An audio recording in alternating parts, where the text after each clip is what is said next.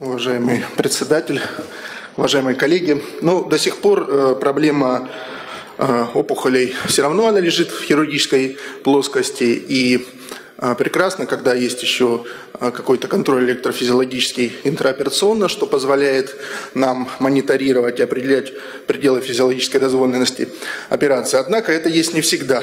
И, по нашему мнению, роль анестезиолога в том, чтобы пациент пережил операцию вместе с нейрохирургом, чтобы дожил до химио-лучевой терапии, здесь а, несомненно. Что же мы можем сделать? Чтобы не испортить то хирургическое лечение, которое проводится. Так, э, по нашему мнению, мы вообще подходим э, к анестезиологическому пособию с э, позиции адекватности анестезиологического пособия до декомпрессии твердой мозговой оболочки, а мозг, как известно, находится плотно костяном и твердой мозговой оболочке, да, в тляре, важно сохранить перфузионное давление у нашего пациента, не нарушив мозговой кровоток до того, как хирург подошел к опухоли. После декомпрессии роль анестезиолога в обеспечении мягкого, податливого, некровоточивого мозга, ну и по мере возможностей оценка и максимальное э, возможное ограничение вегетативных реакций. Также э, на этапе удаления опухоли нормальные показатели сосудисто-тромбоцитарного и коагуляционного гемостаза в ране будут являться критериями проводимого адекватного анестезиологического пособия. Ну и э, в конце операции плавный гармоничный выход из состояния наркоза, когда пациента можно оценить его неврологический статус э, на операционном столе, также является, будет являться критерием всей работы э, бригады совместно анестезиолога и нейрохирурга.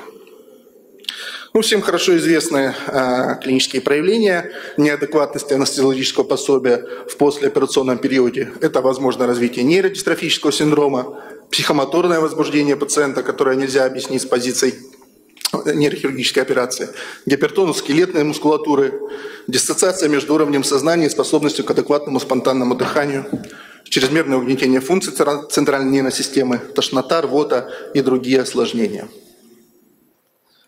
В связи с этим, по нашему мнению, полезно оценивать не только какие-то отдельные реакции организма, но и стабильность, сбалансированность всех вместе а, показателей –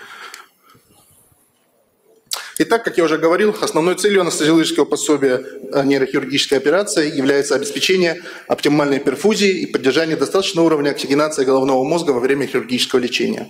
Как результат, э, мы будем иметь мягкий, податливый, некровоточивый мозг, который позволит хирургу работать сколь угодно долго и выполнять э, удаление новообразований любых крупных размеров, любых локализаций.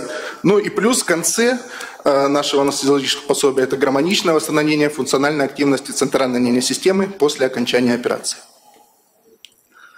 Буквально несколько слов, чем отличаются наши нейрохирургические пациенты от других пациентов – если посмотреть соотношение э, кривой внутричерепного объема и внутричерепного давления, э, пациенты с опухолями головного мозга очень часто находятся на восходящей части этой кривой. И у этих пациентов любое, даже небольшое увеличение кровотока, особенно до, как я уже говорил, до компрессии или скрытия твердой мозговой оболочки, может привести к резкому неконтролируемому повышению внутричерепного э, давления, что закончится очень часто инвалидизации пациента и вообще э, невозможности его операции. Но, во всяком случае, резко затруднит возможности манипуляций хирургических для удаления внутричерепных новообразований.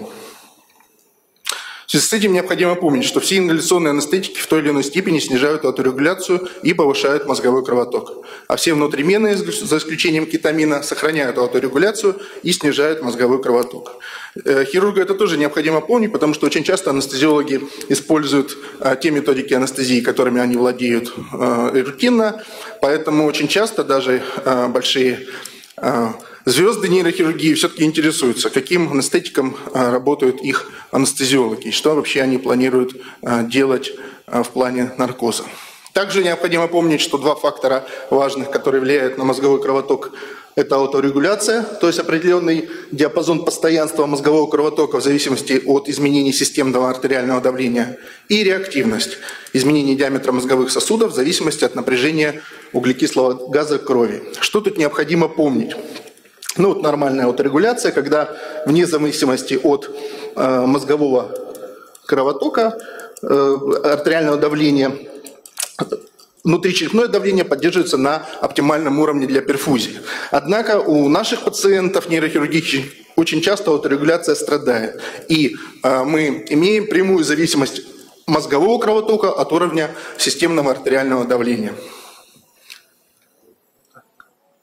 Также кривая ауторегуляции в некоторых э, ситуациях может смещаться или влево, или вправо. Оценить ее сложно, насколько она смещена. Да, например, даже банальная внутрищепная, э, банальная э, гипертензия может приводить к тому, что ауторегуляция смещается. Именно поэтому интраоперационно в нейрохирургии не рекомендуют как резко повышать артериальное давление для вследствие опасности повышения внутрищепного объема и давления, так и резко снижать.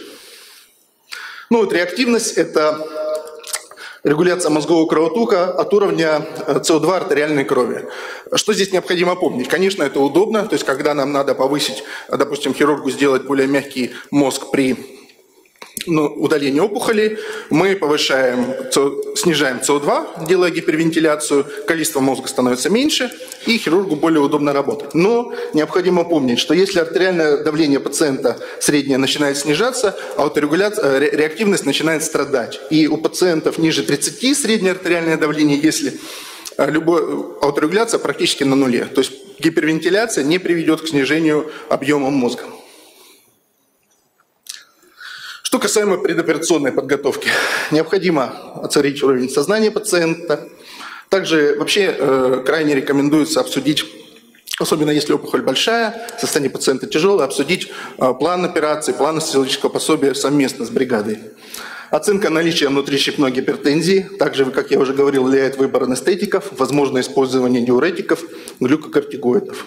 Оценка наличия неврологического дефицита, также нам, особенно если она выражена неврологический дефицит, будет э, нам говорить о том, что э, крайне не рекомендуется пациента пробуждать сразу на операционном столе. Оценка коагуляционного профиля, ну и анализ положения пациента на операционном столе. С одной стороны, вроде бы вещи банальные, но у нас не так давно погибла пациентка, у которой при сидячем положении э, она взрослая, было незаращение овального окна и произошла парадоксальная воздушная эмболия. После удачно соперированной опухоли задней ямки мы получили ишемию э, полушария, и пациентка погибла от развития ишемии. Поэтому за качеством простотой, скажем так, мелочей не бывает.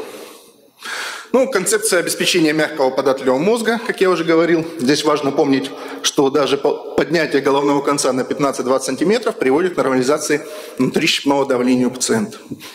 Также возможна осмотерапия. Сейчас наиболее часто используется фуросемид манитол. Выбор препаратов для анестезиологического пособия, как я уже говорил, относительно ингаляционных и внутривенных анестетиков – ну, вентиляция, артериальное давление, тоже мы останавливались. Ну и дренаж ликвора возможен, если мозг действительно эм, напряжен, никакие методы не помогают, то возможно использование дренажа ликвора для того, чтобы обеспечить хирургу хороший доступ.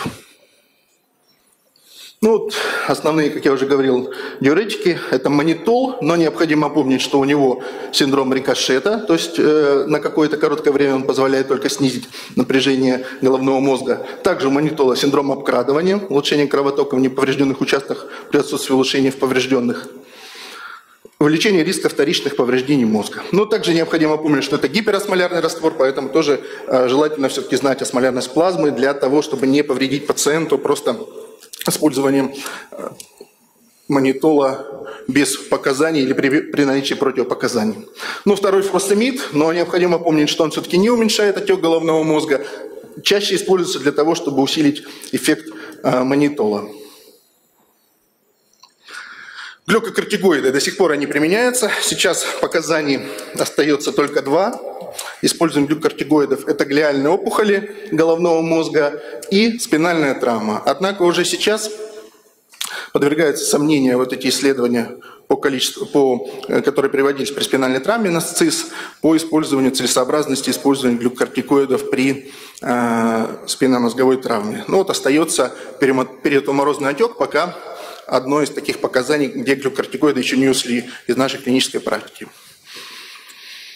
Так, ну и эффект при черепно-мозговой травме уже четко их, они не показаны.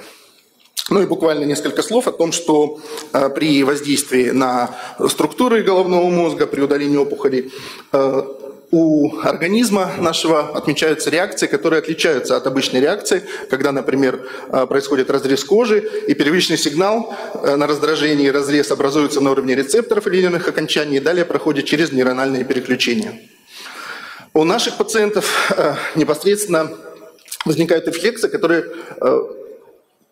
их их появление, к которым приводит прямое воздействие хирурга на головной мозг.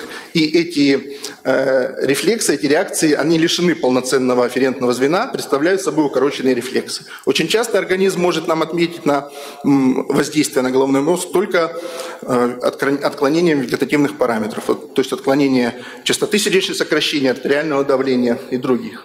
Мы выделяем вегетативные реакции двух типов.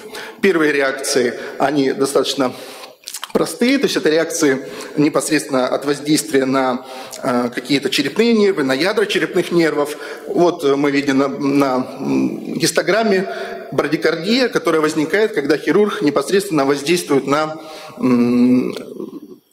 каудальную группу нервов. Как только хирург перестает воздействовать, эта брадикардия проходит.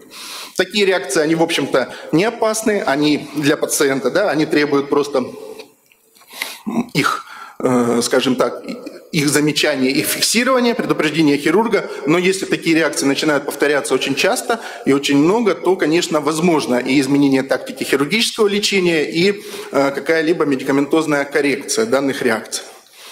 Ну и второй тип реакции, он более редкий. В основе его лежит более массивное нарушение функции мозга, которое является следствием относительной или абсолютной гипоперфузии. Очень часто появление вот центрогенных реакций второго типа или вегетативных, он, он э, свидетельствует уже появлении какой-то патологической системы в центральной, э, в головном мозге. Ну, вот мы видим, э, представлена реакция второго типа. Чем она характерна? Тем, что э, изменения, допустим, частоты сердечных сокращений, они могут быть и брадикардии элементы, и тахикардии. Причем эти реакции не связаны с действиями хирурга, они возникают постепенно и нарастают. И прекращение действий хирурга не приводит к прекращению этой реакции.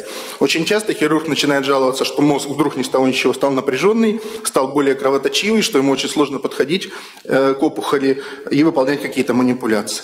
Ну, вот эти реакции, они э, как раз требуют э, более тщательного внимания. Они очень часто приводят к тому, что и надо изменять тактику наркоза, и, э, возможно, изменение тактики оперативного вмешательства разбивать на два этапа. Собственно говоря, для чего эта реакция? Когда мы проанализировали послеоперационный период, то выяснилось, что у пациентов в которых отмечались вот эти вегетативные реакции, у них намного чаще происходило выраженное или незначительное изменение, э, нарастание неврологической симптоматики в послеоперационном периоде. Также у этих пациентов отмечалась нестабильность гемодинамики в послеоперационном периоде, что требует более внимательного наблюдения за ними. Э, и, конечно, у этих пациентов и другие виды осложнений, в том числе и летальный исход, э, наступал более чаще по сравнению с, тем, с теми пациентами, у которых не отмечались эти реакции. Ну и, как я уже говорил, вот более грозные вегетативные реакции второго типа, они э, еще больше за собой, больше пациентов имеют осложненный послеоперационный период. Благодарю за внимание. Спасибо большое, Руслан Владимирович. Вопрос, пожалуйста. Да. Спасибо за доклад. Скажите, пожалуйста, как часто применять э, в институте Полена при лечении больных с опухолью головного мозга манитол. Потому что если взять клинику в Хельсинки, то они всем больным вводят, даже при удалении невронного восьмого нерва. Э, но здесь, понимаете, в чем дело? Мы хорошо знаем клинику Хельсинки, были у них и они оперировали у нас. Мы используем не часто, потому что мы считаем, что очень часто именно сама методика анестезиологического пособия, которая у нас разработана в институте, она э, позволяет нам обеспечить вот мягкий и податливый мозг для работы хирурга без использования манитолога. Э, клиники Хельсинки я был, не так там часто и применяют, есть особенности, ну да.